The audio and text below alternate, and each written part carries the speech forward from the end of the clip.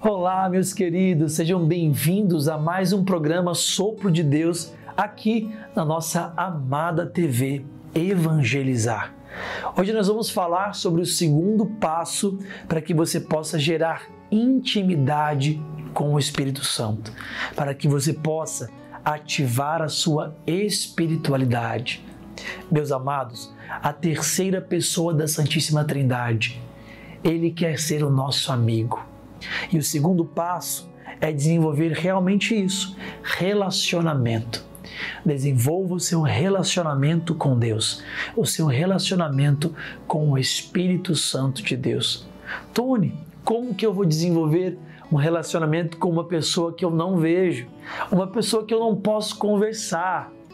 Você pode até não ver, mas conversar sim. Ele fala com você e você fala com ele.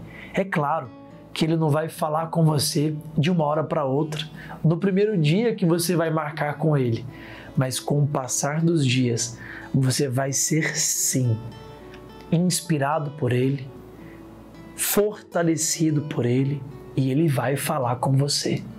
Quantas vezes na minha vida, na minha caminhada, eu falei com o Espírito Santo?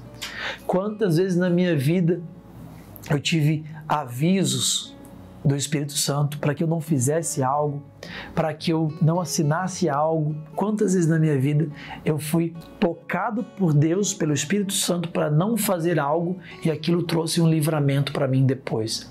Trouxe uma proteção para mim, para minha família.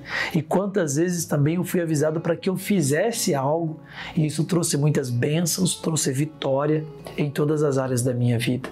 Então, o segundo passo é que você desenvolva um relacionamento. Mas para desenvolver relacionamento, você tem que ter tempo. Você tem que ter investimento. Então, a dica que eu te dou, a dica mais preciosa, é que você marque um horário com o Espírito Santo. Como assim, Tony? Precisa de horário? Precisa. E não é para ele, o horário é para você. Porque quando você faz algo várias vezes no mesmo horário, todos os dias, você desenvolve e instala um novo hábito. E quando você instala um novo hábito, aí você não precisa mais fazer força para que aquilo aconteça. Fica natural para você, está instalado. Então, a dica é essa: marque um horário com o Espírito Santo. Chame isso de encontro. Isso mesmo. Você vai se encontrar com o Espírito Santo.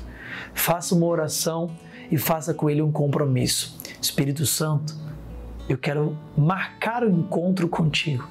E aí você fala para ele: nós vamos nos encontrar todos os dias neste horário. Eu quero aprender sobre o Senhor, eu quero desenvolver contigo um relacionamento de verdade. E aí, o que você vai entender é que nos primeiros dias vai ser estranho para você mas ao passar dos dias, você vai tendo profundidade, você vai tendo confiança naquele projeto que você está estabelecendo. Entenda uma coisa: desenvolver um relacionamento não é do dia para a noite. Você tem que investir. E com Deus também é assim. Ele é uma pessoa, terceira pessoa da Santíssima Trindade. E aí, a outra dica que eu dou é que você seja realmente verdadeiro com o Espírito Santo. Como assim verdadeiro?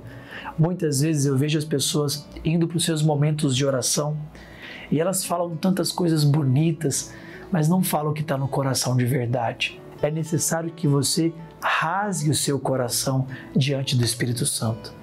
Se naquele dia você estiver achando chato o momento de vocês, fale para Ele.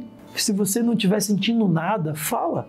Olha, Espírito Santo, eu já estou aqui tem três dias, tem dez dias e não está fazendo nenhuma diferença para mim. Se essa é a tua verdade, fale para Ele, porque uma coisa é certa: Ele te conhece, Ele sabe tudo que está dentro do seu coração. Então, se você não for real com Ele, não vai ter verdade no seu relacionamento. Entenda, essas duas dicas são preciosas para você gerar um relacionamento.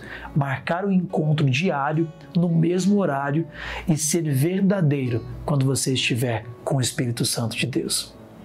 Que Deus te abençoe. A gente se vê no próximo programa Sopro de Deus, onde eu vou trazer o terceiro passo para você gerar intimidade com Ele. Beijo no seu coração. Tchau, tchau.